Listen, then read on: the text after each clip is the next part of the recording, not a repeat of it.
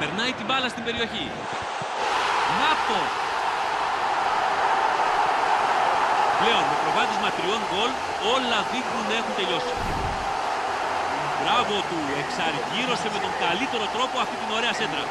Η κεφαλιά αυτή ήταν ε, για σεμινάριο. Συγχρονίστηκε τέλεια με την μπάλα, έβαλε και την κατάλληλη δύναμη, οπότε ο goalkeeper δεν είχε κανένα περιθώριο να αντιδράσει.